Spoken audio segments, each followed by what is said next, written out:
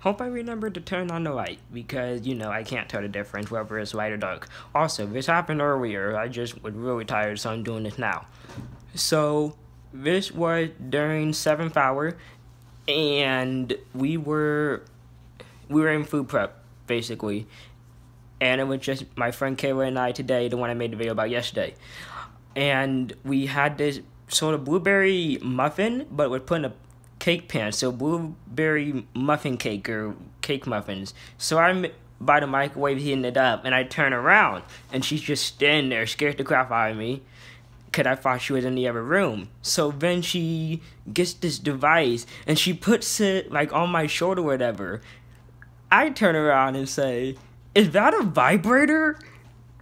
The fact, the fact I didn't realize is that the teacher who were there were two teachers talking about two inches away. I thought they were so caught in their conversation that they didn't hear me.